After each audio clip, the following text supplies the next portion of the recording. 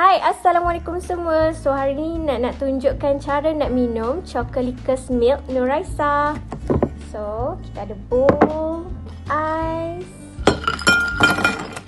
Wow. Cincau. Kita ada cincau.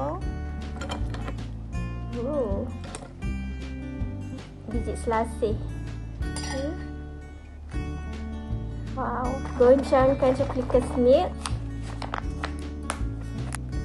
tuangkan ke dalam.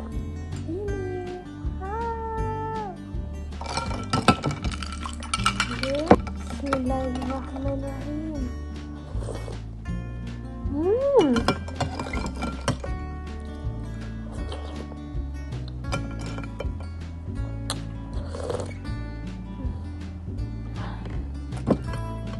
Sedap sangat-sangat. Masya Allah, sedapnya. You guys boleh